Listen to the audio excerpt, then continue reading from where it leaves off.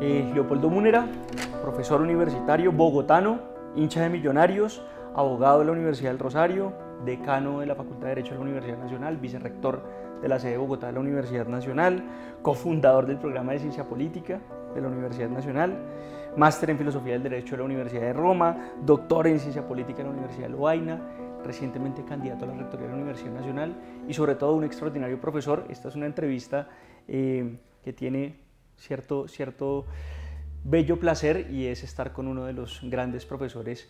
Eso, no es, eso es un privilegio eh, que uno no tiene todos los días. Profe, muchas gracias por concedernos esta entrevista. ¿Cómo está usted? Bien, muchas gracias por la generosa presentación. Gracias, profe. Profe, ¿qué recuerda usted de la Bogotá de su infancia? Bueno, yo la Bogotá de mi infancia es la Bogotá del barrio La María, el barrio La María en el sur de Bogotá, eh, muy cercano a, las cruces también, digamos que relativamente cercano a, las cruces. Eh, y tengo los recuerdos de una Bogotá muy lluviosa, muy fría, con campos de tejo alrededor del sitio donde yo vivía, que que había campos de tejo con sitios para tomar cerveza, para jugar fútbol.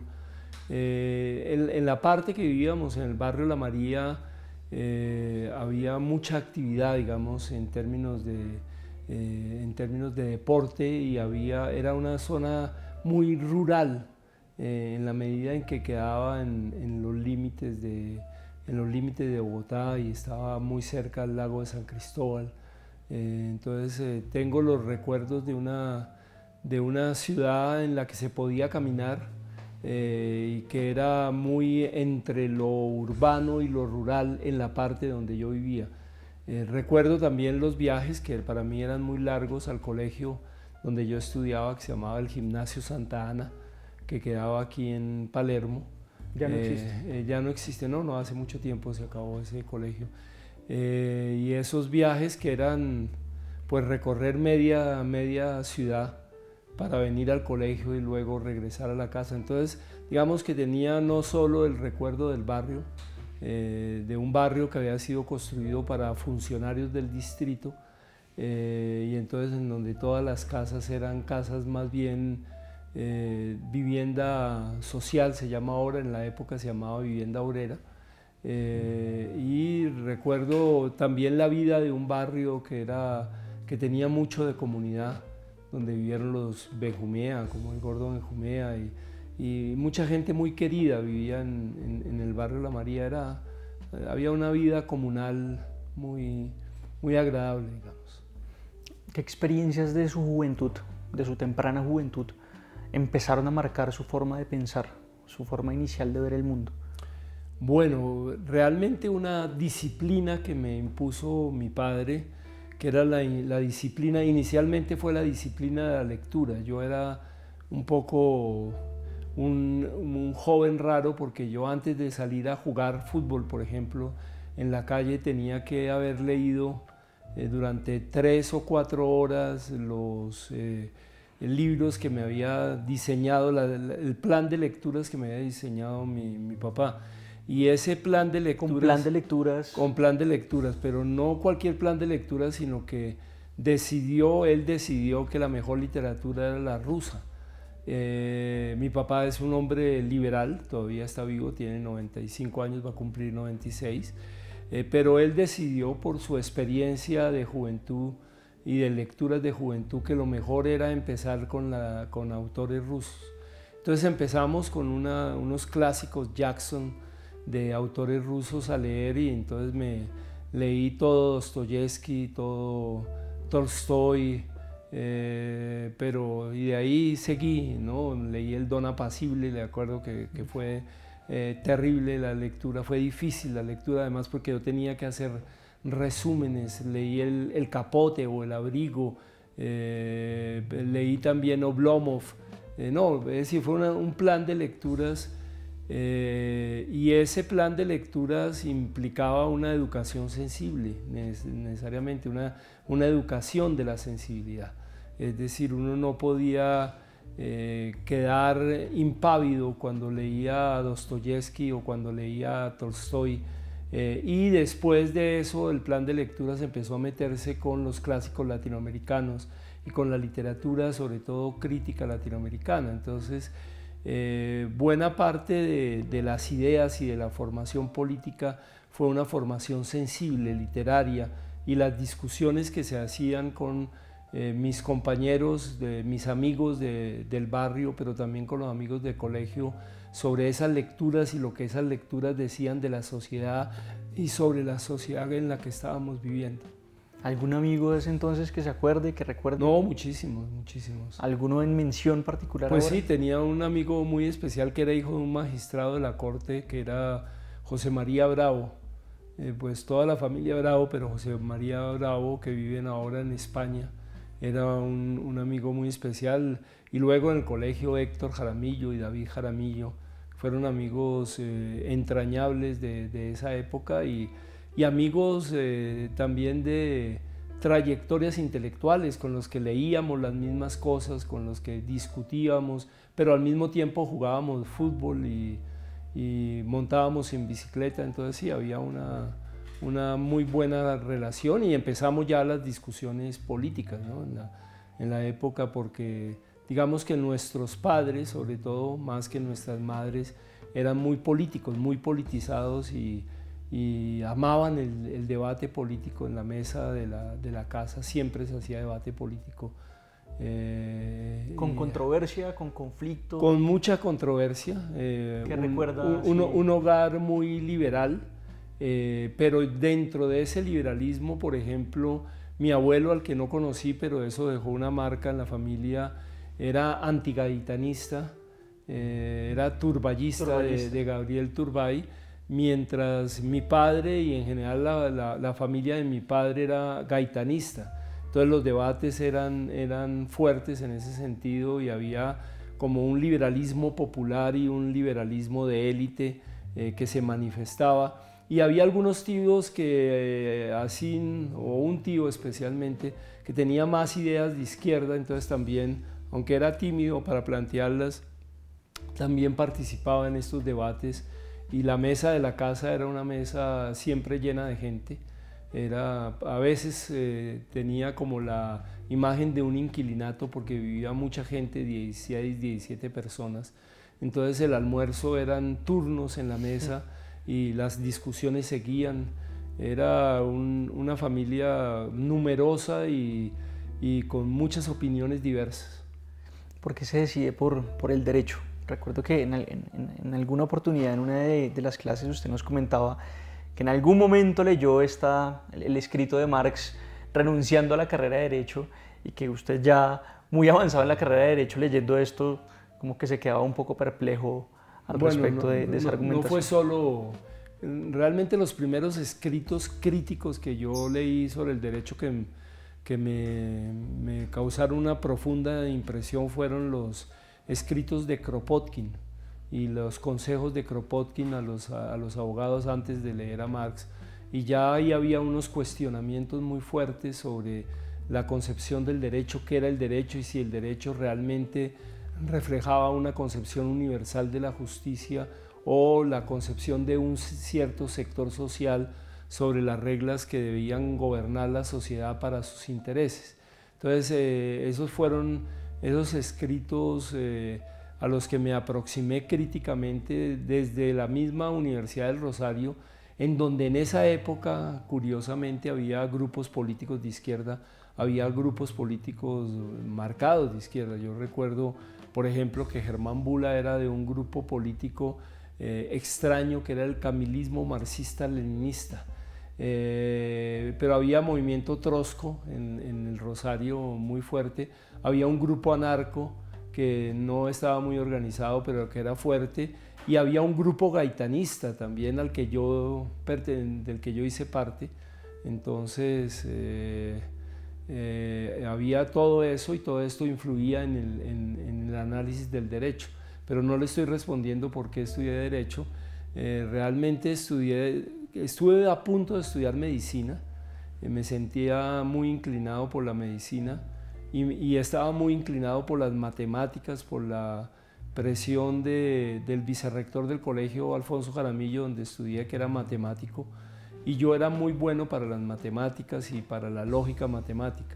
Entonces yo tenía esa inclinación matemáticas, medicina, pero mi papá es abogado y él empezó a presionar para que estudiara derecho y demás. Y creo que esa presión en un muchacho de 16, 17 años eh, funcionó. Eh, y entonces decidí estudiar eh, derecho muy por la idea de que, que, era lo que explotaba mi padre de forma muy hábil, de que yo era una persona muy preocupada por la justicia y que si alguien era preocupado por la justicia debía estar, estudiar derecho.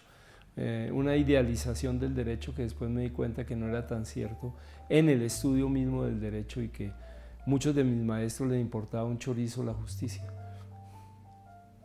Desarrollemos esa idea sobre esa, esa crítica propia al derecho siendo estudiante. Sí, pero está relacionado con, con, la tesis que yo hice para, para graduarme como, como abogado. Eh, yo traté de hacer una tesis inicialmente que no me aceptaron en Rosario y era el delito como una acción política.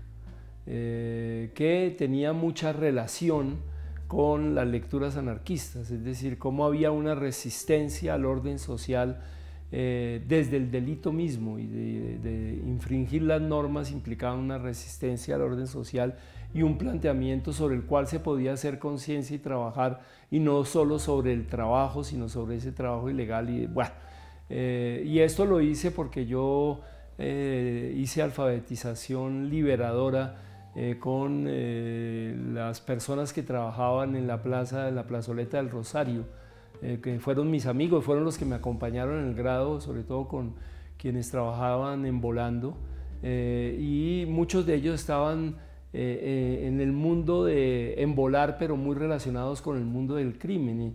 Y, había una, una, concepción crítica sobre el crimen en ellos, o por lo menos una justificación del crimen desde una perspectiva crítica de la sociedad que era muy interesante. Eh, entonces yo propuse hacer un trabajo sobre eso, sobre el carácter político del delito, como era una resistencia inicialmente individual, pero que podía volverse colectiva, eh, y esto relacionado con algunas lecturas que había hecho sobre los piratas, que después resultó un libro muy bueno que estoy leyendo ahora de Greber, de David Greber, sobre los piratas y y toda su concepción del mundo, pero esa tesis que traté de hacer no me la aceptaron. Y entonces, eh, eh, desafiantemente, dije que iba a hacer una tesis sobre el derecho en el anarquismo. Eh, y emprendí el trabajo, primero de recoger literatura en el centro de Bogotá, que en las librerías sobre anarquismo, y, e hice la tesis sobre, se llama El derecho y la ideología anarquista, que por ahí la publicaron años, muchos años después, un grupo anarco de, de, Bogotá y, este, y, circula por, como en PDF por, por las redes. ¡Ay, qué maravilla! Profe, ¿en qué momento empieza su diálogo y su encuentro con el anarquismo? ¿Fue en la primera tesis? ¿Fue en ese estudio o fue mucho antes? No, fue antes, fue antes porque, eh, como, como había dicho, en el Rosario había grupos de izquierda y uno de esos grupos que no era muy orgánico ni nada, era un grupo anarquista. Eh, en la medida en que yo venía de una familia liberal y de una formación liberal, eh, me interesé especialmente por el anarquismo y empecé a hacer lecturas del anarquismo. Y recuerdo que empecé con lecturas de Malatesta, fue lo, primero que cayó, después eh, Kropotkin, y después empecé con las lecturas de los anarquistas españoles y a leer sobre la vida de Durruti, y, eh, empezamos a formar también un grupo eh, de estudiantes para hacer trabajo popular, pero trabajo popular libertario. Entonces eh, creamos un grupo de alfabetización y fuimos a diferentes barrios, hicimos un trabajo muy intenso en la vía ferra, férrea, en Bogotá, en un barrio que quedaba al lado de la vía del ferrocarril eh, donde la historia de, los niños era muy trágica porque todavía pasaba el, tren y con frecuencia cogía, arrollaba a los niños. Y ahí hicimos un trabajo muy fuerte y después nos decidimos meternos al Policarpa, eh, pero evidentemente el Policarpa era del partido y nos echaron eh, rápidamente. Eh, y seguimos haciendo trabajo y reflexionando sobre pedagogía libertaria eh, y demás, y eso duró como dos años, dos años y medio. y entonces ahí ya me acerqué más a, a lecturas y a análisis sobre anarquismo, socialismo, anarquismo en América Latina, y ahí encontré el libro de de un filósofo colombiano sobre anarquismo en América Latina, de Alfredo Gómez Müller, que también me permitió eh, profundizar en el tema y después me hice muy amigo de, Gómez Müller, que además fue jurado en mi tesis doctoral. Entonces también por ese camino y después pues conocí a, la gente de la libélula dorada, a César e Iván, y ahí había otra serie de lecturas, entonces eh, eso fue, eh, empecé a profundizar no solo lecturas sobre socialismo libertario, sino en general sobre pensamiento crítico. Como ve, profe, en esa disputa, bueno, hay muchas disputas por el lenguaje, pero una de esas es sobre el libertarianismo y la palabra libertario, ¿no? Porque pues tenemos al presidente de Argentina de este combo anarcocapitalista o se hacen llamar anarcocapitalistas y esa, me parece una disputa difícil porque el, digamos, el ser libertario que además viene de un anarco, del anarcocomunismo primigenio se lo, se lo apropia este anarcocapitalismo. ¿Cómo ve esa disputa allí? Sí, pero esa disputa ha existido en la historia, siempre. en la historia del pensamiento moderno siempre y, y más contemporáneo. Pues, eh, olvidamos, pero se habla del nacionalsocialismo, ¿no? no y es nacional socialismo. Eh, no, no, se está hablando de, de de un movimiento dictatorial, sino socialista y nacional. ¿Cuál es el elemento común de, ese libertarismo que practica Milley con el, digamos, con, con el anarquismo mm. clásico, histórico, colectivista? No creo que tenga un elemento común porque en el, en el anarquismo, digamos, socialista, en el socialismo libertario, eh, hay una crítica muy fuerte a la propiedad privada. En cambio, los libertarianos, como también los llaman en el mundo anglosajón, son defensores a ultranza de la libertad, de la propiedad privada. Entonces ya cuando hay una diferencia alrededor de la propiedad privada tan marcada y todo lo que se deriva, la libertad eh, en el caso de los libertarianos es la libertad del propietario, el que puede disponer como quiera de sus bienes, que podría tener una relación con un uno de los anarquistas clásicos que es con Stirner. Stirner es el frentón, traduce, eh, que además Marx le hizo una crítica eh, virulenta en la Sagrada Familia cuando habla de San Sancho, eh, que era muy interesante y Stirner de alguna manera alimenta a Nietzsche. pero era un anarquista individualista. Digamos que ese tipo de anarquista, el único y su propiedad, es el, el, libro más eh, conocido, pero no el único. E, ese tipo de anarquista puede estar más cercano a los libertarianos de derecha, pero está muy lejos del socialismo libertario, eh, que además se confronta con el marxismo diciendo que el marxismo es un socialismo autoritario. Y en el, en el socialismo libertario hay una, una tendencia pacífica, que es la tendencia que además va a alimentar después a Gandhi, que es toda la tendencia de Tolstoy. Tolstoy era un anarquista pacifista. Entonces ahí hay, ahí hay muchas vertientes y, el socialismo libertario y el anarquismo tiene una riqueza extraordinaria, desconocida en buena medida porque nunca ha sido hegemónico. la idea es que nos alcance un poco el tiempo porque vamos a hacer una reivindicación final del anarquismo aquí en el, en el programa. Profe, hay un tema entre deseo y vocación. O sea, ¿en qué momento usted es un tema de deseo, es un tema de vocación ser profesor? ¿Por qué la Universidad Nacional? ¿Cuál es, esa etapa de su vida en donde se convierte en profesor y en la Universidad Nacional? Yo creo que es más de encantamiento. Eh, lo podría decir, yo acompañaba aquí, a esta, a esta facultad, a mi papá a dictar clases. Y entonces, eh, sobre todo lo acompañaba los eh, sábados. Eh, veníamos a dictar clases, mi papá dictaba algo que a mí me parecía muy aburrido, eh, que era el derecho tributario, pero mi viejo es y era un gran profesor, y entonces cartagenero, mi papá es cartagenero, eh, hacía que el derecho tributario resultara divertido hasta para un niño de que resultara divertido en el sentido interesante, hasta para un niño de siete años como era yo, y yo lo, lo escuchaba y tomaba notas. Eh, me acuerdo en las aulas de acá con, con los pupitres o los escaños de madera y ahí tomaba notas y me apasionó ver el proceso de diálogo entre mi papá y los estudiantes y, y lo que eso implicaba y lo que eso producía en los estudiantes. Sirver a personas eh, entusiasmadas por el derecho tributario, eh, que repito, a mí no me entusiasmaba nada, pero que algunas personas y muchas lograran sentir la pasión que sentía mi viejo, me llevó a la, a la conclusión de que ahí había una construcción colectiva que no era algo simplemente individual, que se parecía mucho a los juegos que hacíamos en el barrio, que era eh, construir desde lo común, ¿no? como una, una, una, eh, una, colectividad que se piensa a sí misma, que piensa cómo divertirse, pero que también piensa el conocimiento, y eso me, me, pareció muy atractivo. Y entonces fui asimilando en el colegio eh, la idea de ser profesor, entonces yo ya les enseñaba algunas cosas a mis compañeros. Eh, era más tímido en el colegio, pero en la universidad ya lo asumí eh, desde el primer semestre con toda seriedad. Era una, de las formas de estudiar era yo estudiaba en la mitad del tiempo que nos daban para preparar los exámenes y la otra mitad del tiempo me dedicaba a explicarle a los compañeros lo que había estudiado. Eh, y ahí ya me di cuenta que eso, que esa, que esa ese servir de guía en términos del conocimiento era lo que me apasionaba realmente. Entonces, primero encantamiento, después pasión. Encantamiento, pasión y la nacional por la misma razón. La nacional porque la conocí viniendo con mi padre, pero yo no estudié en la nacional. ¿no? Eso hay que tenerlo presente, que yo no estudié en la nacional, en buena medida por presiones de mi papá.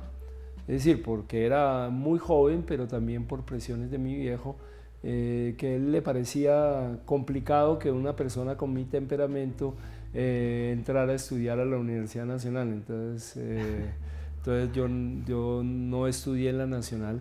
En la, en la, universidad pública que vine a estudiar después fue en la Universidad de Roma y semipública en la Universidad de Lovaina.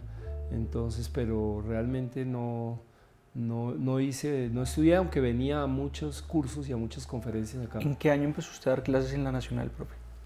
Yo empecé a dar clases en la Nacional en el año 82, en 1982, eh, porque me vinculó un profesor, como lo he dicho, eh, un viejo profesor de Túquerres de Nariño, Mora Osejo, y me vinculó, también esto lo he contado varias veces, pero me vinculó de una forma extraña, porque a mí me habían contratado para dictar unas conferencias en los Andes.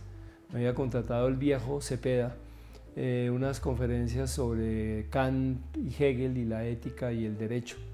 Y yo fui a dictar esas conferencias a las que asistió mucha gente, yo estaba recién llegado de Italia, asistió mucha gente y al final de las tres conferencias que dicté, eh, Cepeda me dijo, usted no es como el profesor como para la Universidad de los Andes. Yo le dije, bueno, está bien, me parece bien. Y salía caminando de los Andes y se me acercó un profesor, una persona bajita de corbata, y me dijo, doctor Múnera, eh, ¿a usted le gustaría dictar clases en la Nacional? Y entonces yo me volteo y le digo, desde luego, me dijo, soy Humberto Mora Osejo, soy el director de una especialización que acabamos de crear en instituciones jurídico-políticas y derecho público y me gustaría que usted dicte la asignatura Teorías del Estado. Le dije, desde luego, si, ¿cuándo empezamos? No, la próxima semana empezamos. y entonces eh, ahí me vinculé, pero era una persona de 25 años, ¿no? Tenía, tenía 25 años. ¿Qué es lo que más recuerda de esa universidad de los 80s y los 90s? Hay, hay, muchas cosas, ¿no? La vitalidad de la universidad, la, y la vitalidad en todo sentido y la vitalidad política de la, de la de la universidad, pero también el dogmatismo. Creo que había ambas cosas, había una gran vitalidad, pero había también un gran dogmatismo. Eh, pero era una universidad que no paraba, que no paraba en, expresiones eh, culturales, que no paraba en, lo político, en los debates políticos. Yo recuerdo los debates en la Plaza Che, eh, recuerdo, y esto era muy joven, a, a Ricardo Sánchez, a Marcelo Torres y a los oradores, a Héctor Moncayo, eh, a los oradores que realmente venían a la plaza y se pronunciaban discursos de horas, eh, y esa vida también cultural, recuerdo a, a, los teatreros y cómo participaban, eh, la vitalidad de la universidad, que creo que siempre ha sido vital, a veces baja, a veces sube más, eh, como en estos momentos en donde hay una vitalidad, una fuerte vitalidad, pero la universidad siempre ha tenido eso que es, que es muy lindo, ¿no? es, es entrar en un campo que es un campo de vida. Entonces eso es lo que más recuerdo. Profe, ¿cuál, ¿cuál cree usted que ha sido el honor más grande de su vida? ¿Cuál siente que es el honor más grande de su vida? El más grande haber sido profesor de la universidad. ¿Y los dolores más grandes de su vida que lo hayan marcado? Eh, muchos, muchos porque, porque yo trabajé en derechos humanos, eh, dirigiendo la oficina de derechos humanos y, y la situación de derechos humanos en este país sobre todo cuando empecé a trabajar en la época de Turbay Ayala, eh, marca dolores eh, muy profundos que uno no puede olvidar. El, acompañar a los familiares de detenidos desaparecidos, eh, las denuncias de personas desaparecidas que después aparecían muertas, el asesinato de, de personas conocidas y desconocidas. eso, el haber vivido la violencia del país es un dolor es un dolor que, marca eh, la muerte de los amigos, a veces asesinados, a veces no, pero todos marcados por lo que ha sido este país.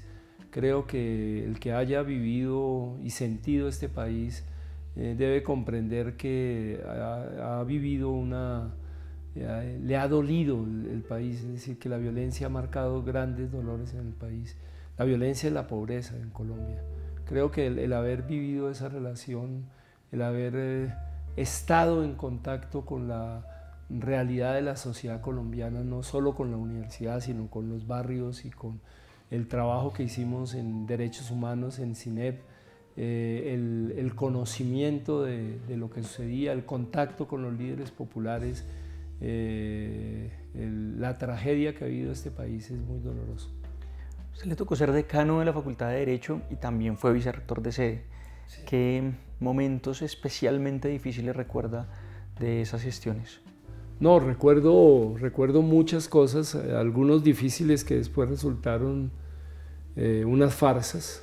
Eh, por ejemplo, cuando supuestamente desaparecieron dos estudiantes que eran pareja y que hacían parte del grupo de derechos humanos de la facultad.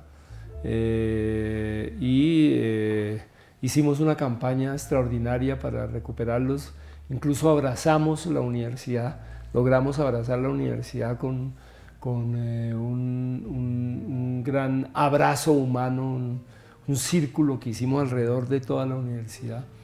Y tiempo después aparecieron, y aparecieron eh, que se habían ido a la guerrilla y en las condiciones eh, extrañas de que parecía que estaban haciendo inteligencia a la guerrilla y demás. Y entonces me acuerdo que escribí un artículo en El Espectador que se llamaba El oso y la ignominia. Eh, pero también recuerdo, eh, es un recuerdo que me marcó mucho la muerte de, un policía que fue asesinado en un tropel en la, en la 26 y después el asesinato de un estudiante de medicina, Carlos Giovanni Blanco, eh, en la 30 con 45. Yo recuerdo y, recuerdo esos momentos de, confrontación bélica entre los estudiantes y la policía que, fueron muy intensos y muy complicados. Por fortuna en ambas ocasiones se evitó que hubiera más muertos. Profe, para comprender, bueno, además porque la autonomía universitaria no es, no es cualquier tema, es un tema complejo, es un tema que tiene una tradición, pero usted se ha declarado en desobediencia civil, usted se ha declarado en desobediencia ante la designación de Ismael Peña eh, por el Consejo Superior Universitario. Este, este acto, claramente, pues este acto político, está vinculado a una noción de la autonomía universitaria. Y me gustaría que pudiéramos explicar un poco cuál es esa noción profunda de la autonomía, qué hay detrás de ella, cuál es la importancia de la universidad en torno a la idea de la autonomía y por qué es importante esa declaratoria que usted hizo. Pero como hace la pregunta, eh, entonces empiezo por la desobediencia civil. Eh, la desobediencia civil implica un acto que es público, es decir, que se hace frente a los demás, una declaración frente a los demás. un, acto que es consciente, es decir, que es reflexionado eh, y que implica todo un proceso de análisis de lo que uno está viviendo. Un acto que es no violento eh, y eso es fundamental. Y yo lo tomo no violento desde la antiviolencia, es decir, de reducirle el espacio social a la violencia eh, lo máximo. Y un acto además que se toma en una franja que está entre el derecho y la justicia, que es una franja ética, es una posición ética en ese sentido. Pero la desobediencia civil implica eh, asumir una posición frente a uno mismo y frente a la sociedad.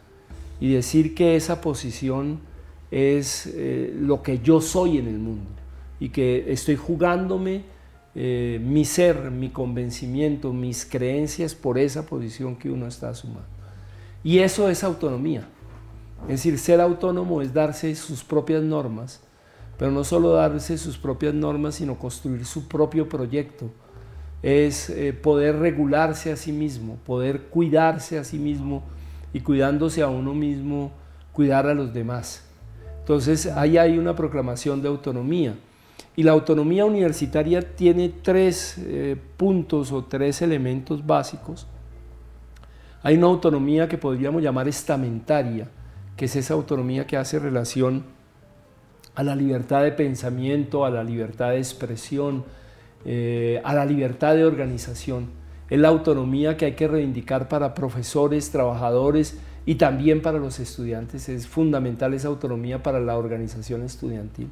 Hay un segundo tipo de autonomía que es la autonomía institucional, que son las comunidades dándose sus propias reglas de juego, eh, estableciendo cuáles son sus parámetros académicos, cómo se va a hacer la investigación, cómo se va a hacer la extensión. Y hay una tercera autonomía que es la autonomía sistémica, es decir, la forma como la comunidad académica incide en la definición de políticas públicas para educación superior y para educación en términos generales. Eh, me parece que el académico tiene que ser autónomo y que tiene que actuar a partir de su convencimiento y de su propia normatividad.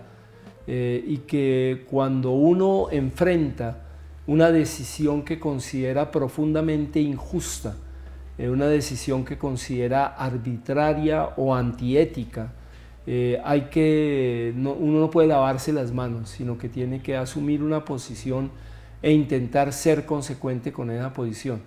Eh, con frecuencia la desobediencia civil eh, es un llamado para que reflexionemos con cosas que son espectáculo en la desobediencia civil. Si la idea que tiene que haber una huelga de hambre para que la desobediencia civil eh, funcione o que uno tiene que empelotarse en la calle, yo no creo, yo creo que los actos de desobediencia civil empiezan por no aceptar aquello que para uno es inaceptable eh, y después ir trabajando colectivamente para construir un eh, universo que le resulte a uno mucho más aceptable desde el punto de vista ético, digamos. Como pasa con la objeción de, conciencia, por ejemplo, al servicio militar. Por, ejemplo, aunque eso no es exactamente una desobediencia civil, hay un debate si es desobediencia civil o no, pero, pero por ejemplo, pero eh, eso es la, la desobediencia civil que es una expresión de la autonomía y de esa autonomía personal que está dentro de la autonomía estamentaria de las universidades. Digamos, con, con, lo que ha sucedido alrededor del tema de la designación de, rector, se ha mencionado en varios lugares que hay como dos, dos puntos nodales para comprender esto. Un tema de legitimidad, ¿cierto?, frente a la elección de rector, eh, por la consulta, porque aparte usted resulta ganador en una consulta, digamos que no tiene precedentes en términos de participación de la comunidad universitaria, por lo menos en la historia reciente, en la historia de la consulta universitaria dentro de la Universidad Nacional. Entonces hay un problema allí de legitimidad, ¿cierto?, política, pero también hay un problema de legalidad, ¿cierto? Eh, ese problema de legalidad creo que quien por lo menos yo que eh, eh, en donde más lo he escuchado es en los, en los artículos que ha sacado últimamente el profesor Rodrigo Primi. Em, me gustaría, si usted puede, ahondar en los dos puntos, pero me gustaría ahondar en el problema de legalidad eh, que se ha mencionado alrededor de la designación del rector. Bueno, el primero es el de legitimidad, que no es el que quiere que, que ahondemos, pero creo que es importante. El de legitimidad es que eh, existió una consulta, que si bien esa consulta no fue vinculante, los miembros del Consejo Superior estaban obligados a considerar también la, la, consulta, a ponderarla, a valorar la consulta para nombrar al rector. Y eso no se hizo. No se hizo la valoración de la consulta y de la importancia, es decir, la pregunta de por qué votaron por una persona que presentó este tipo de programa. Es decir, ¿qué hay detrás de eso? ¿Por qué hay esta identidad entre quien presenta el programa y sus votantes? Eso ni siquiera fue considerado. ¿Qué tan pertinente es lo que se está planteando para la Universidad Nacional? Eso no fue considerado y se pueden leer las actas que existen y eso fue subvalorado. De alguna manera eh, hubo como un, juego ahí pues, de desestimar y dar argumentos para eh, no elegir a la persona que había ganado, sencillamente más un juego retórico que una valoración del de, significado de la consulta. Y eso indigna a una comunidad que es una comunidad de personas pensantes. Eh, ese es el tema de la legitimidad. El tema de la legalidad tiene que ver con el procedimiento que se escogió para nombrar al rector. El procedimiento que está establecido eh, por el eh, Estatuto General de la Universidad, por eh, las normas que rigen el funcionamiento del Consejo Superior, por las normas que rigen también el nombramiento del rector, dice que el rector hay que nombrarlo a partir de la formación de una mayoría absoluta, votando siempre por cinco nombres. Hay que votar por cinco nombres hasta que una de las personas tenga la mayoría absoluta y en este caso la mayoría absoluta es cinco votos a favor y tres en contra, pero siempre tienen que estar presentes los candidatos y votar hasta que se forme la mayoría absoluta. Aquí escogieron un método, un método que ha sido utilizado durante mucho tiempo, que no es eh, para escoger la persona que tiene mayor favorabilidad sino para escoger la persona que tiene menos desfavorabilidad.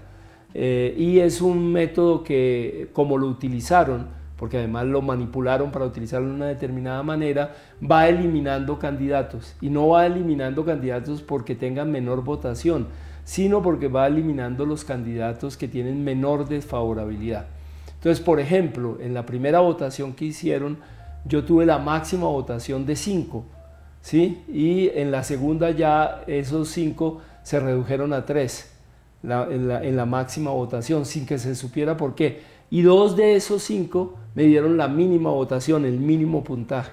hay algo que no, que, que, no funciona realmente dentro del método, que no funciona porque el método fue manipulado precisamente para que no reflejara la mayoría absoluta en términos de la votación eh, de los miembros, de los integrantes del Consejo Superior, sino que pudiera ir eliminando gente hasta escoger al, al, que tiene menos desfavorabilidad o menos resistencia. Entonces, para sintetizarlo, en vez de escoger un método para elegir por mayoría absoluta, votando en cada ocasión por los cinco nombres, escogieron un método para ir eliminando personas y solo votar eh, en, el último momento eh, para formar la mayoría absoluta. Profe, el proceso constituyente que vive actualmente la Universidad Nacional, usted ha mencionado en algunos lugares que tiene varios momentos, primero un momento destituyente, etc. Pero quisiera como hacer dos paralelos. El primero tiene que ver con la diferencia entre este proceso constituyente y el propuesto por el gobierno nacional, ¿cierto? El presidente Petro ha propuesto un proceso constituyente, aquí hay un proceso constituyente autónomo en la universidad me parece importante hacer esa, esa diferenciación. Pero segundo, me gustaría entender un poco la explicación a profundidad de las etapas de ese proceso constituyente, ¿cierto? Pero un poco, em, digamos, cuáles son los límites también, dónde se puede agotar, eh, cómo se puede renovar, em, un poco con estas dinámicas de excepcionalidad que son maravillosas, todos hemos vivido en estos momentos de movilización, pero tienen a veces un punto, un punto límite y, ahí pareciera que a veces las dinámicas de movilización, que no todas son homólogas a un proceso constituyente, claro que sí, este sí lo es, pero quisiera entender un poco esa, esa trayectoria que se propone allí. Sí, primero, eh, el proceso constituyente está propuesto desde hace muchos años en la vida universitaria. Es decir, el proceso constituyente implica que realmente la comunidad universitaria asuma plenamente su autonomía y asuma, asuma plenamente su autonomía para estructurar las universidades y para establecer su reglamentación, pero también su funcionamiento, su misión, su visión, sus objetivos. Es decir, que sea la comunidad universitaria la que tenga un proyecto de universidad y que pueda llevarlo a cabo y que pueda realizarlo. Eso viene desde hace tiempos, yo diría que desde la época de Córdoba, a comienzos del siglo pasado, Córdoba, Argentina y el manifiesto de, Córdoba, eh, ya se plantea ahí un proceso constituyente. Eso es diferente a una constituyente, a una asamblea constituyente para reformar la constitución de Colombia, que es un proceso eh, mucho más complejo, más amplio, eh, que implica eh, una reforma social profunda y que implica tener en cuenta las relaciones de poder que hay en un determinado momento en una sociedad y preguntarse si esas relaciones de poder favorecen a un proceso constituyente o no favorecen a un proceso constituyente, o si lo que vamos a hacer es echar para atrás eh, eh, convocando una asamblea constituyente cuando las relaciones de poder eh, son muy equilibradas o son desfavorables. Ya en términos del proceso constituyente de, de una universidad, de la Universidad Nacional, lo primera, la primera etapa que creo que es en la que estamos es eh, que la universidad en sus diferentes estamentos, facultades, sedes, con diferentes ritmos y con diferentes tiempos y con diferentes metodologías, porque son heterogéneas en términos de la universidad, empieza a discutir eh, qué son las cosas que quiere cambiar estructuralmente de la universidad y hacia dónde quiere orientar la universidad. Que empecemos incluso desde lo más simple, desde las unidades básicas, para decir esto es lo que queremos. Nosotros queremos hacer un proceso que eh, tiene estos horizontes en términos de la universidad. Y una vez que eso se ha sistematizado, es decir, que se empieza desde unidades básicas o desde facultades o a veces de sedes que son más pequeñas, se pueda sintetizar esto, sistematizarlo y someterlo ya a un proceso que tiene tres etapas básicas. ¿Qué es lo que queremos destituir? Es decir, qué es lo que queremos derogar, qué es lo que no está funcionando, qué fue lo que, lo que resultó aprobado sin consultarle a la comunidad y de espalda a la comunidad, o qué, cuáles son las normas que están causando realmente más daño que bien en términos de la sociedad. Segundo, lo que ha sido llamado, yo creo que no en forma muy correcta, el momento instituyente, que es en esta transición qué instituciones vamos a mantener y qué instituciones son necesarias para poder hacer la transición. Y luego el momento constituyente que es qué es lo que vamos a construir y desde dónde empezamos a construir. Pero eso ya es el momento final. Entonces, eh, en términos generales se dice empezamos a construir desde cambiar el gobierno de la universidad. Y cambiar el gobierno de la universidad de tal manera, por ejemplo, que los representantes de la comunidad universitaria sean la mayoría en los cuerpos colegiados. ¿Por qué cambiar el gobierno? Porque el cambio en el gobierno va a ofrecer un apoyo institucional a todo el proceso constituyente. Normalmente cuando esos procesos constituyentes se hacen sin un apoyo institucional tienden a fracasar eh, con mayor frecuencia porque son más desgastantes. Entonces lo que se quiere es también tener un apoyo institucional para hacer el proceso constituyente y ahí sí empezar a elaborar todas las transformaciones que se necesitan y eso ya es un tiempo más largo. Eso es lo que es un proceso constituyente. Desde su perspectiva en esa transformación del gobierno universitario, pensemos el, el Consejo Superior Universitario de la Universidad Nacional. Hay casos de universidades en Colombia donde se respetan los resultados democráticos. Hay un caso que es el de la Universidad de Nariño. Nariño. ¿Cierto? Em, ¿Se podría lograr una, una transición o una suerte de medidas en el corto plazo que no impliquen eh, una, una, reforma legal, una reforma... No, sí se pueden. Por ejemplo, se puede reformar el Consejo Académico. Eh, por ejemplo, el Consejo Superior, si quiere, puede eh, decir que se somete a la consulta y que la consulta es vinculante.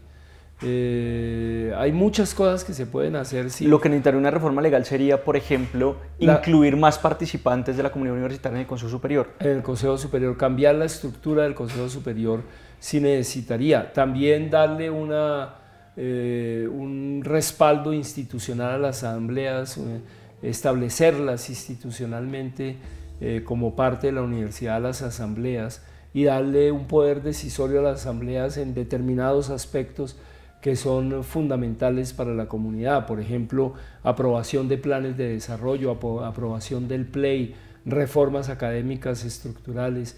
Eh, eh, eh, a las asambleas se les podría dar ese poder. En, otras partes del mundo las asambleas tienen ese poder.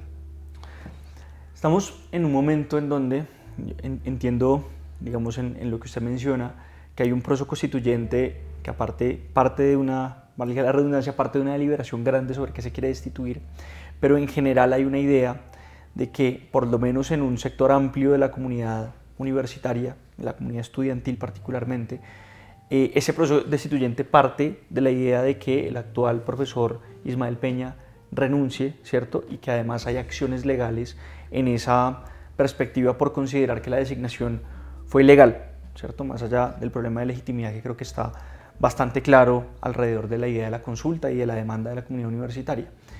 ¿Qué pasa si el profesor Peña no renuncia y si los tribunales le dan la razón al mecanismo de elección que adoptó el Consejo Superior Universitario?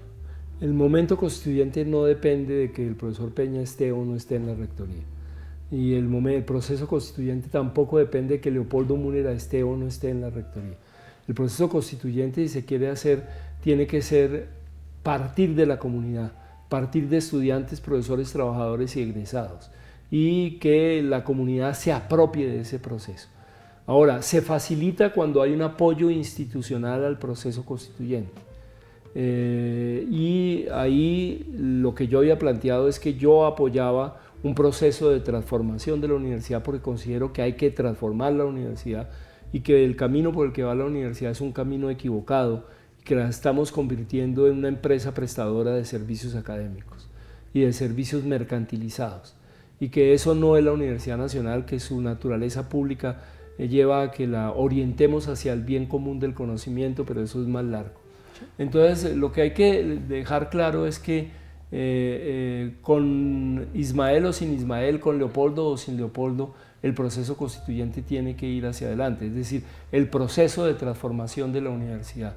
Eh, estudiantes, profesores y egresados no votaron fundamentalmente por Leopoldo Munera, aunque estaba, era el que estaba haciendo la propuesta, votaron por un proyecto de universidad y por una transformación de la universidad y además por un agotamiento eh, de este modelo de universidad que se ha venido implantando en los últimos años. Y creo que esa es la manifestación. Entonces, no, no convertiría el proceso constituyente en un proceso que depende de una persona o de un líder o de un caudillo o algo por el estilo. Creo que eso está muy lejos de, de lo que se puede construir en una universidad como la nacional.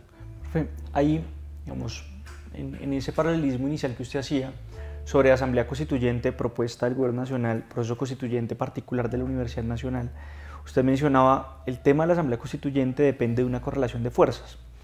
Eh, hay una paradoja en lo que está sucediendo en la Nacional y es que eh, la legalidad de, esta, de, la designación del rector depende de que la autonomía universitaria resida en un consejo superior que no tiene mayoría de la comunidad universitaria, ¿cierto? Eh, eso, es bien paradójico porque ahí, digamos, contradice la idea misma de autonomía, pero evidencia una tensión política, ¿cierto? Hay una tensión política, es decir, eh, esa votación se dio de esa manera eh, lo, que entiendo entre líneas, usted dice, por el programa que presentamos porque generaba resistencias en otros sectores de, esa misma comunidad universitaria, ¿cierto? ¿Cómo podríamos comprender esos sectores? Es decir, ¿cuál es la trayectoria que ha tomado la universidad? ¿Por qué esa resistencia tan fuerte? Entiendo que es un tema programático general que usted ha explicado, pero si pudiera particularizar un poco, eh, ¿cuál es la, resistencia que, que fue bastante grande porque nos tienen este nivel de conflictividad a ese programa que usted presentó? No fue bastante grande, fue de un grupo que, tiene, que ejerce poder dentro de la universidad. Más que ser... Eh, bastante fuerte, digámoslo, porque tiene incidencia dentro del Consejo Superior. bastante fuerte, sí, pero también con un rechazo muy fuerte de parte de la comunidad académica. Entonces, eh, yo creo que hay un cambio que ha sido originado por la misma Ley 30 y por las dinámicas de financiación de la educación superior en los últimos años de neoliberalismo y neoinstitucionalismo de derecha, y es que se ha ido reduciendo, o no reduciendo, se ha ido eh, limitando el presupuesto de la universidad pública en Colombia en general y de la Universidad Nacional. Eh, la universidad ha incrementado enormemente el número de estudiantes, pero seguimos con un presupuesto más o menos igual o ligeramente superior. Ha subido durante el gobierno de Petro. Y esto de aumentar eh, el número de estudiantes, la cobertura con el mismo presupuesto, eh, implica que el presupuesto no alcance y que la universidad se haya metido en una lógica de producción de recursos propios y la producción de recursos propios implica venta de servicios académicos. No está mal que se vendan servicios académicos siempre y cuando esos servicios académicos correspondan a las líneas académicas de la universidad, es decir, estén armonizados con la investigación y la extensión y los temas sean los mismos y se retroalimente. El problema es cuando lo que se vuelve fundamental es el negocio de la venta de los servicios. Y ese negocio de la venta de los servicios empieza a ser fundamental para financiar a, las universidades. Y de, esa, de ese negocio se empieza a lucrar una parte minoritaria del profesorado o del estudiantado o de los egresados. Entonces empiezan a utilizar la universidad para beneficio personal y empiezan a distorsionar las funciones misionales de la universidad. Entonces ya lo, lo importante no es ofrecer un programa para una comunidad que tiene necesidad de una colaboración de la universidad para resolver problemas de agua, sino lo importante es ver a qué alcaldía le vendemos un programa que puede no ser pertinente, pero para el cual hay muchos recursos. Y entonces empieza a distorsionar todo el horizonte de la Universidad Nacional. Eh, la universidad que se ha ido construyendo es una universidad que se está centrando en la venta de, servicios y en la venta de la propiedad intelectual que tiene la universidad. Ese es el sentido de una corporación como Rotor, por ejemplo, eh, en donde hay la pregunta de si Rotor realmente beneficia al conjunto de la Universidad Nacional o beneficia solo a sectores minoritarios dentro de la Universidad Nacional con recursos de la Universidad Nacional. ¿Y por qué es tan frágil la estructura pública de estas corporaciones? Esas preguntas habría que responderlas. Profe, esta circunstancia usted cree, y digamos, lo, lo pregunto con cierto romanticismo también, que se está fortaleciendo un movimiento autonomista desde la universidad. Eh, eh, digamos, en, general, los movimientos estudiantiles que han estado anclados, y eso no está mal, pues a movimientos políticos, de la izquierda política, etc. Pero ah, como que hay momentos de cierto autonomismo en donde, en donde crece una organización autónoma de la universidad, pensando la universidad misma. Todos los movimientos son así. Pero ¿cree usted que puede ser un momento interesante para la emergencia de un autonomismo particularmente fuerte? Veníamos de un momento de apatía profunda y apatía que fue reforzada por la pandemia. Eh, apatía que fue reforzada también porque eh, los esfuerzos de los movimientos anteriores, la MANE, el movimiento del 2018, eh, no alcanzaron todos los objetivos que se buscaba y además de esto porque el movimiento estudiantil más que el profesoral pero también los profesores se daban cuenta o nos dábamos cuenta que no había nada que hacer porque siempre nos imponían el gobierno. Eh, creo que todo este proceso y toda esta campaña eh, despertó de nuevo una ilusión de que sí se pueden hacer cosas y de que sí se puede transformar la, la Universidad Nacional en la dirección que queremos. Y eso me parece que es importante, es la primera semilla de lo que usted llama un movimiento autonomista.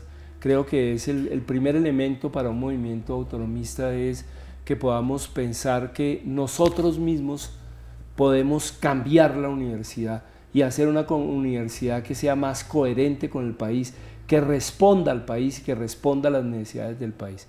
Eh, yo creo que eso está empezando a formarse, pero me parece que es un proceso largo que ojalá tenga un apoyo real desde la institucionalidad de la universidad y lleve a una reflexión sobre la universidad que buscamos, que queremos, no solo para nosotros mismos, porque el problema no somos nosotros, sino para el país y para, para las generaciones que vienen. Y yo no creo que sea una fábrica de servicios académicos lo que queremos para las generaciones que vienen. Usted nos enseñó a muchos que fuimos estudiantes suyos en sus clases, valga la redundancia, sobre anarquismo, sobre autonomismo y sobre democracia. ¿Cuál es el vínculo entre esos tres, sobre todo en este momento que vive la universidad del país? Bueno, yo creo que el, vínculo está en esa autonomía, eh, realmente en, la manera como podemos construir y ampliar los espacios de libertad individuales y colectivos, eh, los espacios de libertad de lo singular y de la multitud, eh, y esa, esa necesidad de reconocer que la libertad no es la ausencia de limitaciones, sino que la libertad es poder actuar dentro de las limitaciones y dentro de lo que nos determina.